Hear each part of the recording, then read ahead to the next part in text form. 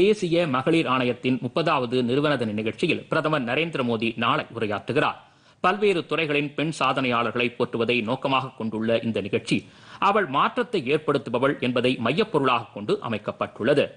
காணொலி மூலம் பிரதமர் மேற்கொள்ளும் இந்த நிகழ்ச்சியில் மாநில மகளிர் ஆணையங்கள் மாநில அரசுகளின் மகளிர் மற்றும் குழந்தைகள் மேம்பாட்டுத் துறைகள் பல்கலைக்கழக கல்லூரி ஆசிரியர்கள் மாணவர்கள் தன்னார்வ அமைப்புகள் பெண் தொழில் முனைவோர் வர்த்தக சங்க பிரதிநிதிகள் ஆகியோர் பங்கேற்கின்றனர்